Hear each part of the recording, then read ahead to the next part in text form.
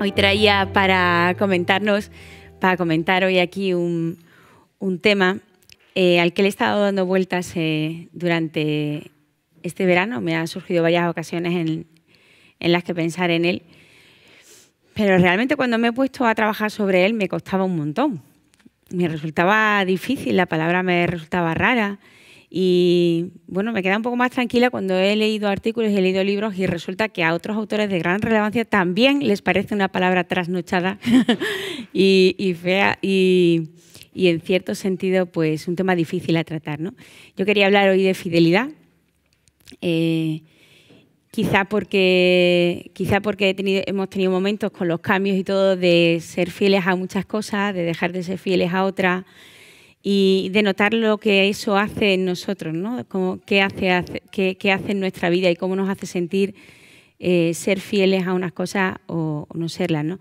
Cuando nos reunimos en verano en casa de mi familia, eh, este año hemos ido solo a ver a las abuelas, pues porque hacía mucho tiempo que no las veíamos, solemos compartir aquellas películas pues que, aunque sean ya antiguas, pues que nos gustan mucho. ¿no? Y este año hemos vuelto a ver por enésima vez eh, Ahora o Nunca. No sé si conocéis la película si no la conocéis, siento que voy a hacer cierto spoiler, pero, pero para los que lo conocéis, es, tiene escenas tan bellas y tan hermosas que, creo que merece la pena que las recordéis. ¿no? Em, son, los protagonistas son Jan Nicholson y, Morgan Freeman, son dos actores que a mí me, encantan, me apasionan, entonces me gustó mucho volver a verla. ¿no? Pues en un momento dado, Morgan Freeman se le pone la ocasión de, de filtrar con ella una chavala jovencita, él es un hombre maduro, y, el diálogo que se produce allí ¿no? es, muy interesante y a él se le presenta la oportunidad de, irse con ella, a pesar de que está casado. ¿no? Eh, él termina la conversación, no voy a hacer spoiler porque tengo muchas ganas de que la veáis, pero a él le cambia la cara. ¿no? Y, cuando yo vi este verano esa película, volví a pensar en el tema de la fidelidad, de la fidelidad ¿no? y vi el efecto que hace en, él está interpretando, pero por una cara muy, muy bien, muy bien eh, interpretada, ¿no? Es, es esa cara de felicidad y de satisfacción, ¿no? De, haber hecho lo que tienes que hacer, ¿no? Y, y es súper bonita. Yo, yo quería que vosotros hicierais ese ejercicio, ¿no? Pensad durante unos minutos en una persona o en un personaje o en un, alguien de la historia que consideréis como una persona fiel, ¿no? Y puede ser un superhéroe, me da igual, ¿no? Pero pensar en alguien, en una persona, en un mártir, en una cualquier persona, ¿no? En un en alguien que haya defendido una ideología, en alguien que haya luchado por unos derechos, en alguien que en cualquier persona, incluso en vuestra abuela, yo que sé, hay gente que le inspira mucho, ¿no? Pensar por un momento en alguien que haya sido fiel y en lo que ha hecho. Daros dos segundos para hacerlo. Y si lo hacéis, notáis en vosotros un eco, un eco positivo, algo bueno resuena dentro de vosotros, ¿no? ¿Por qué? Porque como personas estamos llamados a eso, estamos llamados a ser fieles, ¿no? Estamos llamados a disfrutar de la fidelidad de otro y a ejercerla y hacernos más grande con ella, ¿no? No es algo no es algo restrictivo, como vamos a ver ahora, no es algo coercitivo, no es algo que nos ate, no es algo que nos reprima, no es algo ajeno al hombre. Es algo que el hombre desea profundamente. Y aunque es una palabra fea, eh, resulta que toda la base de, lo que hacemos y de todo nuestro día a día y de todo, pues, pues tiene que ver con eso al final. ¿no? Eh, por ejemplo, tú te levantas por la mañana y no te levantas, estás dormido y te despiertas y en, realidad, en realidad esperabas que el despertador te fuera fiel y te sonara la hora. A ver, los relojes no son fieles, ¿no? Pero tú esperas que sea confiable y que te suene. Porque en realidad, aunque no es lo mismo, esto algo tiene que ver, ¿no? Con la fidelidad, confiabilidad, con que la persona que haya hecho ese, ese reloj, ese teléfono que te despierta, haya sido fiel a su jefe y efectivamente haya hecho un aparato que funcione, o que esa empresa haya sido fiel a su palabra dada y ese coche o ese aparato o ese teléfono o lo que tú quieras usar realmente funcione como tú esperas que funcione, ¿no? Tú esperas que sea fiel. Claro, los, objetos no pueden ser fieles porque la fidelidad es una cosa humana, es una cosa que, necesita, es, necesita un, sujeto personal, algo, algo vivo, ¿no? Para hacerlo. Pero bueno, también, también tiene algo que ver, ¿no? Y al final toda tu vida se, sostiene en fidelidad, ¿no? Em, desde los primitivos hasta ahora. ¿no? De hecho, eh, no sé si esto está muy comprobado, ¿no? pero he leído un, estudio que dice que cuanta más oxitocina, eh, esa hormona que nos ayuda a relacionarnos y a querernos y amarnos, eh, pues resulta que si Lu le inyecta oxitocina a, unos hombres que están filteando, son más fieles. No se relacionan más, sino que son más fieles. Es curioso, ¿no? Porque, porque tendemos a protegernos ¿no? y a construir una vida con eso. ¿no? Em, os voy a leer una palabra del Señor que, bueno, es, muy típica, pero a mí me llena, a mí me llena como, como una, de, una de pocas palabras que tiene el Señor, ¿no? Y es algo que yo quiero escuchar, ¿no? Al cabo de mucho tiempo viene el Señor de aquellos siervos y se pone a ajustar cuentas con ellos. Ya sabéis de qué parábola está sacada este texto, ¿no? De la palabra de, los siervos, que el, el, Señor les da unos talentos, una cantidad de dinero a cada uno de ellos, ¿no? Y se va entonces cada uno de ellos eh, hace algo con ese dinero, ¿no? Eh, total, que se pone a ajustar cuenta con ellos, ¿no? Y se acercó el que, el que había recibido cinco talentos y le presentó otros cinco, diciendo, Señor, cinco talentos me dejaste, he ganado otros cinco. Su señor le dijo, bien, siervo bueno y fiel, como has sido fiel en lo poco, te daré un cargo importante entra en el gozo de tu Señor. Joder, que, que, me gustaría a mí poder escuchar al final de mi vida, o en cualquier proyecto que haga, o en cualquier cosa que haga, entra en el gozo. Lo has hecho bien, entra en el gozo de tu Señor, entra a, formar parte de todo esto bueno que estamos haciendo. ¿no? En fin, em, como digo, es una palabra a veces fea. ¿no? ¿Por qué? Porque em, a veces se ha abusado de ella. ¿no? la fidelidad a veces ha llevado a, momentos muy crueles. ¿no? No la fidelidad, sino el mal entendimiento de lo que es la fidelidad. ¿no? Eh, es posible que cualquiera de vosotros tenga experiencia de esto. ¿no? Pues una fidelidad, una, fidelidad que, que no es orgánica, que no es dinámica, una fidelidad que no es algo, algo propio del hombre, al final puede, puede ser coercitiva ¿no? y, puede no entenderse bien. Una fidelidad que es obligada no es fidelidad. ¿no? Y ha dado lugar a momentos muy crueles, ¿no? Fiel, fiel, fiel, fiel, fiel, ¿hasta cuándo? ¿no? Pues, pues no, es porque la fidelidad haya fallado, sino porque nuestro concepto de fidelidad o quizá eh, pues las presiones de fuera pues han fallado. ¿no? Pero mm, yo tenía una, una definición que he encontrado por ahí que me ha encantado porque esto, esta definición, aunque es rara, pero me ha, transmitido la diferencia entre la verdadera fidelidad y lo que a veces ha llegado a ser la fidelidad. ¿no? Esta definición dice, la fidelidad es la fuerza que supera el tiempo, la fuerza que supera el tiempo. Es decir, la transformación y la pérdida. Pero no con la dureza de la piedra, en firmeza fija, sino creciendo y creando algo vivo la fuerza que supera el tiempo. Yo tenía un profesor al que tengo un aprecio brutal, eh, mi profesor de antropología y en la, Facultad de Filosofía, un antropólogo muy famoso, que él decía que él nunca se iba a casar. Ya era una persona madura cuando decía esto, que él no se iba a casar nunca. ¿Por qué? Dice, porque el año que viene yo seré otra persona y la otra persona será una persona diferente. Entonces no me habré casado con la misma persona, con lo cual no me quiero casar, no me arriesgo a eso. ¿no? Y, mm, hijo, tenía mucha razón, porque a veces no nos damos cuenta de que cuando nos comprometemos con las personas y decidimos ser fieles, se nos olvida que va a pasar el tiempo y que no somos piedras. Y que no y que lo normal, lo normal, lo habitual es que surjan problemas y lo, normal es que surjan dificultades. Y que las cosas no son igual, es que ahora no es igual que dentro de un instante, que dentro de un día, que dentro de tres días. Y que a lo mejor tú hoy te comprometes a algo y mañana surge algo y a lo mejor hoy te comprometes y la persona que, con la que estás viviendo o, el trabajo que estás haciendo se complica de una manera, tiene un problema enorme, todo.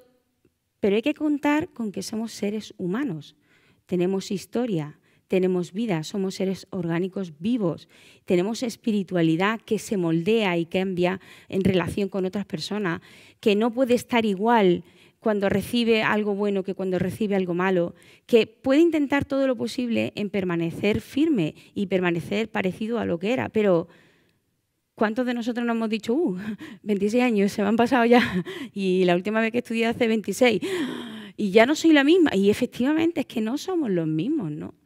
Pero eso hay que tenerlo en cuenta a la hora de hacer un compromiso, ¿no? Y si haces un compromiso, la cuestión es ser fiel, ¿no?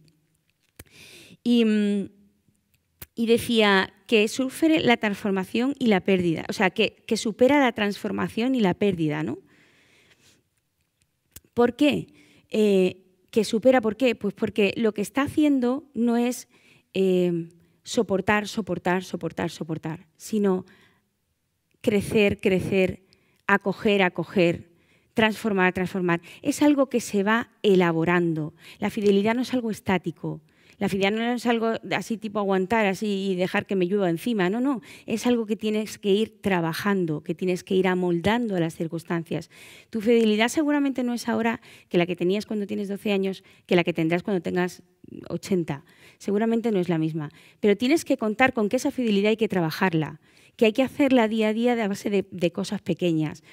Y, hay que ser fiel en lo poco, porque es verdad que a veces decimos, bueno, la fidelidad siempre está relacionada con voy a ser infiel a mi marido o voy a ser infiel a mi mujer, pero es que la fidelidad va mucho más allá de eso, ¿no? No es solamente eso, ¿no? Tenía otra, otra definición, eh, ponerse a favor del otro y conservarse para él, pero no para dominar o poseer, sino para conservar la vida que descansa en la alianza. Pero es que me encantó, la voy a repetir, ¿vale? Es ponerse a favor del otro y conservarse a favor del otro. Pero no para dominarlo o para poseerlo, o para que él te domine o, o para que esa cosa te posea. Fiel para conservar y hacer crecer la vida que eso hace. Cuando nosotros hacemos una alianza, hacemos, hacemos una alianza o hacemos un pacto, o hacemos un compromiso, lo hacemos con una visión, porque crees que lo que estás haciendo es algo que te va a hacer más grande, que te va a hacer mejor, que va a ser, pues como cuando la gente eh, se pone en un partido político, se casa o se mete a hacer el proyecto de su vida o abre una nueva empresa, ¿no? ¿Por qué? Pues porque piensa que aquello va a ser algo positivo, porque piensa que aquello va a sacar lo mejor de sí mismo, porque piensa que eso va a colaborar con otras personas, porque va a ayudar, porque va a crecer, porque va a ganar, porque va a dar vida. Entonces, la alianza se hace para eso y la fidelidad ayuda a crecer eso. Fiel a un trabajo, fiel a un trabajo ¿qué es? Fiel a un trabajo es que tú lo haces a tiempo, bien hecho y, tal como te han dicho, ¿no? O sea, bien, bien. trabajo hecho a tiempo, puntualmente y hasta el final. Un trabajo una persona que es fiel a su trabajo es una persona que va a trabajar y que no se dedica a criticar a su jefe. algo normal, todo el mundo lo hace, pero no. Una persona fiel sabrá elaborar, sabrá trabajar su relación con sus compañeros de trabajo y con su jefe para no serle infiel con las palabras. Em, fiel con los amigos, fiel con uno mismo. Me encantó hablar de este tema con mi hija Miriam, que no es la mayor, es la, la de en medio y es adolescente pequeñita, tiene 15 años, va a cumplir 16, y, me ha encantado hablar de este tema con ella, ¿no? porque ella me decía, fiel, fiel a ti mismo, fiel a ti mismo. Me ha, me ha parecido muy chulo, porque fiel a ti mismo a lo que vales porque tú tienes una dignidad. Dice, fiel a ti mismo, ella decía, fiel a ti misma para no darte a cualquiera, ¿no? Ella estaba pensando en esto de regalar tu cuerpo a cualquier persona, ¿no? Fiel a ti misma al valor que tú tienes si tú vales, si tú tienes una dignidad, si tú sabes cuánto vales como persona, como valdría cualquier otra persona, pero si además piensas, si además tienes fe y además eres capaz de pensar que, eres algo inmenso, valiosísimo, eh, eres un universo entero, eres, eres, eres hijo de Dios, eres todo, ¿no? Eres, eres de, una, de una grandeza que es pues, eh, tengo una amiga aquí que, siempre habla de la tierra sagrada, ¿no? acompañar a una persona es entrar en tierra sagrada. Si eres tierra sagrada, tú tienes que ser fiel a quien eres, ¿no? Tienes que ser fiel y cuidarte y, no dejarte ir, ¿no? Ya te digo que eh, quizá porque este verano he tenido oportunidad de ver que jo, yo decía, pues es que estoy cansada, ¿no? Y dejo algunas cosas. Y me doy cuenta de que para mí habría sido mejor y habría sido más constructivo haber seguido siendo fiel, ¿no? Y, mm, fiel a, ti mismo en verdad, ¿no? porque yo decía, bueno, es que estoy cansada, sí, sí, sí, sí, sí, sí, pero si yo hubiera sido honesta conmigo misma y hubiera sido fiel a mi verdad, habría sabido que podría haber seguido siendo fiel. O sea, tú tienes eh, una capacidad de autoconocimiento y cierta verdad te es revelada, ¿no? Te, te resuena dentro de ti, ¿no? Y tienes que ser fiel con eso que oyes, ¿no? Con eso que crees que tienes que hacer, ¿no? Eh, tus sueños, tus, ganas de hacer algo, tu pasión, eh, lo que eres, lo que vales y para lo que no vales. Tienes que ser fiel a quien eres, ¿no?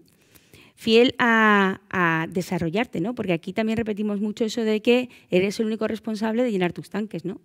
Y tienes que ser fiel contigo mismo para mantener esos tanques llenos y para no dejarte caer y para buscar ayuda cuando lo necesites y para confrontarte con gente que te apoya y que, y que, puede sacar de ti lo mejor. ¿no? Fiel con tu propio desarrollo. ¿no? Eh, ponerse a favor del otro es también ponerse a favor tuya ¿no? y sacar de ti lo mejor. ¿no? Eh, y fiel a ti y, por supuesto, fiel a tu marido o a tu mujer, o a tus amigos, o a tu familia, o a tu madre o a tu padre, como sea. ¿no? Em, en estos tiempos de pandemia es, es difícil relacionarse con la gente, ¿no? pero mantenerse al lado de las otras personas también es una forma de ser fiel, ¿no? porque hay cosas que no decimos, hay contratos que no escribimos, pero hay cosas que sí hemos dejado ver y sí, y sí hemos hecho que los demás esperen. ¿no? Esas cosas hay que hablarlas, ¿no? Y, hay que ponerlas sobre la mesa y decir, pues yo creo que me he comprometido, quizá no de palabra y quizá no lo he escrito, pero me he comprometido a estar ahí, ¿no? Y, hay que estar, como se pueda, pero hay que estar, ¿no? Quizá ya digo que en estos tiempos es, es, difícil, pero igual que los demás pueden esperar esto, nosotros esperamos también lo mismo, que otras personas sean fieles con nosotros, ¿no? Y, y, nos acompañen. Creo que lo necesitamos. Creo que necesitamos esa presencia fiel de otras personas alrededor nuestra, ¿no? Eh, sin obligar, sin obligar, ¿eh? ya, ya lo digo, ¿no? sin obligar a nadie, pero, pero creo que es importante, sin, sin sentirse coaccionada, ¿vale? Porque, porque no va por ahí, ¿no? Pero, pero sí con la libertad de poder decidir sobre ti mismo y sobre tus compromisos, que voy a ser fiel a aquello que creo que, que debo de hacer, ¿no?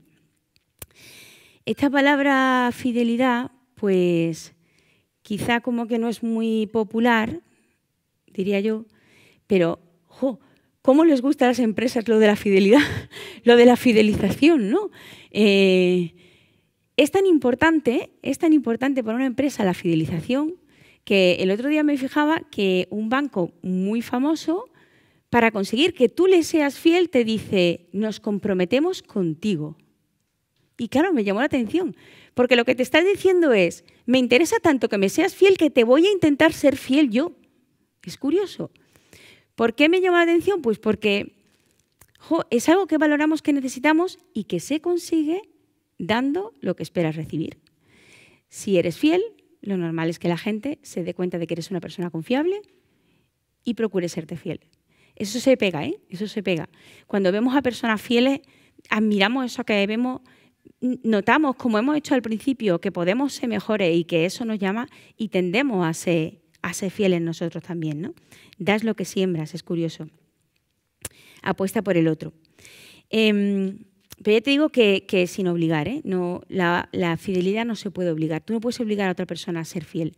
Le puedes recordar, quizá, que hizo ese compromiso, pero una vez que se lo recuerda, seguramente ahí ya hay algo muy importante y esa, ahí hay algo que se ha roto, ¿no? Seguramente. Pero, pero no se puede obligar. Y, y, es, y es como el amor del Señor, ¿no? y es como la fidelidad del Señor. ¿no? La fidelidad del Señor es súper, súper, súper suave, súper delicada. El Señor no obliga, no obliga nunca. El Señor decidió, Dios, Dios Padre decidió porque le dio la gana, porque así lo quiso, serte fiel. Serte fiel a ti y serme fiel a mí asombrosamente desde el principio de los tiempos, antes de que yo naciera, antes de que tú nacieras, antes de que hiciéramos cualquier cosa, el Señor ya nos era fiel. El Señor creó todas las cosas, vio que todo era bueno y de alguna manera ya empezó a relacionarse con nosotros, ¿no? Y ya empezó a ser fiel así con nosotros, ¿no? Y, y continuó buscándonos. Hoy hemos cantado precisamente ¿no? en la alabanza, ¿no? eh, tu amor no se rinde, tu amor no se rinde. ¿no? El Señor permanece, permanece, permanece, es fiel y sigue estando ahí. ¿no? Y, nosotros, toda la historia de Israel, vamos, venimos, nos vamos con otros, volvemos con otros, no somos fieles, no somos fieles, nos vamos con otros dioses, nos venimos con otros dioses, nos olvidamos de Él y Él sigue y sigue y sigue buscándonos. ¿no? Su fidelidad, es alta como las nubes, ¿no? dice el Salmo. ¿no?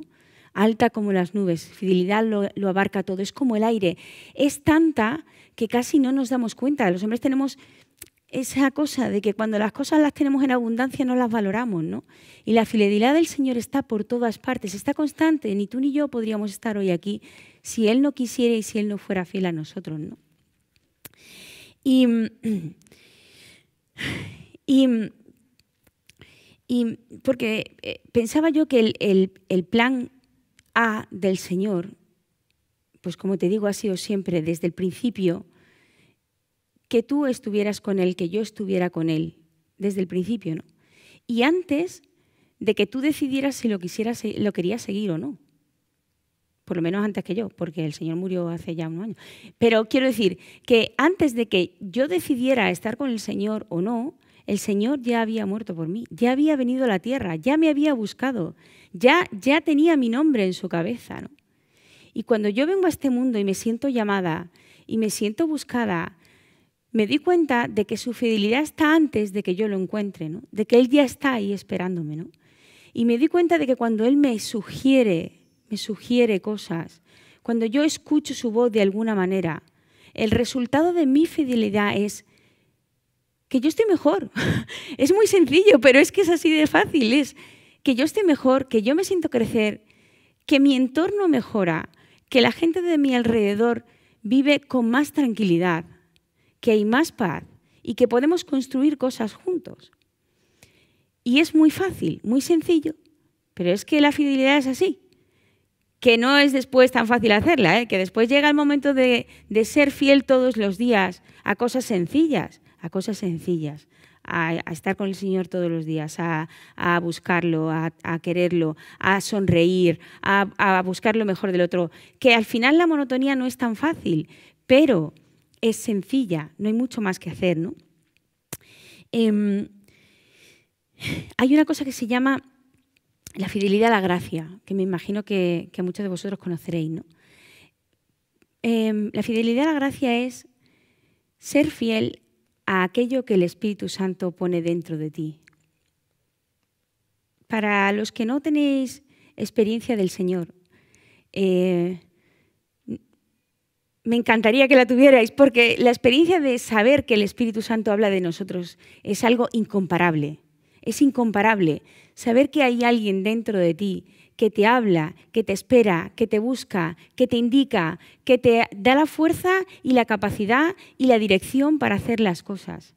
Es incomparable, porque cuando lo haces y eres fiel a esa voz, es el camino de la santidad. La vida es plena, la vida tiene otro sentido, tiene otro color y tiene un sentido, tiene un destino y tiene una visión. Y y estás mucho mejor, es así. O sea, yo, he pasado por la fase de no escucharlo a la fase de escucharlo, ¿no?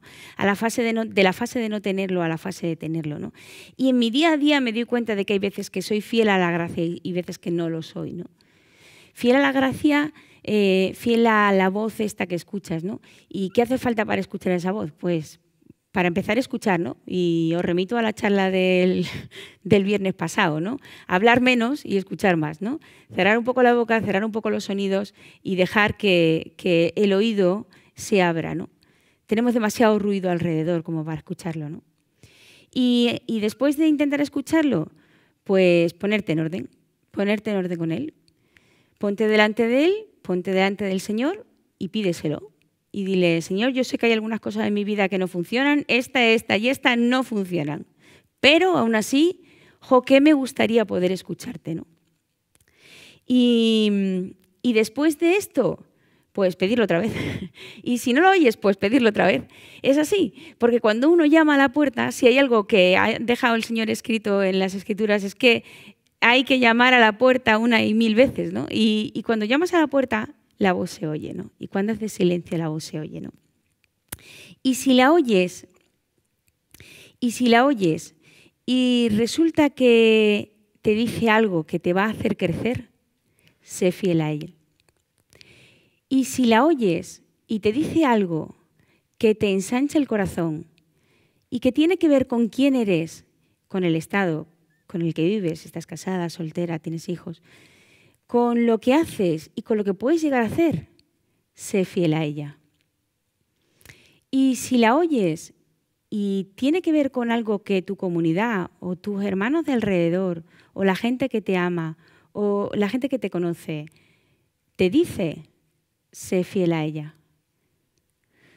Y si la oyes y tiene que ver o viene a través de un acompañante que te conoce bien y que te quiere, sé fiel a ella. Y si oyes esa voz y es un superior de tu comunidad, por ejemplo, o, la tienes que hacer por obediencia, por obediencia, sé fiel a ella, porque no te vas a equivocar. Por obediencia no te equivocas. Tú sé fiel a esas insinuaciones. Sé fiel a esas insinuaciones que te hacen sacar lo mejor de ti. Sé fiel a esas insinuaciones que buscas de corazón y que obedecen a la verdad de lo que eres y de quién eres. Porque no se nos pide otra cosa nada más que ser fieles. Por cierto, que me parece que hoy es el aniversario de la canonización de Teresa de Calcuta, si no me equivoco. Y mm, tengo una oración bastante conocida de Teresa de Calcuta, ¿no? por lo menos aquí la, creo que la hemos leído alguna vez, ¿no? Pero hablando precisamente de la lectura que hemos leído hoy, ¿no? Ha sido fiel en lo poco, entra en el banquete de tu Señor, ¿no? Y dice, Eh, espera un momento.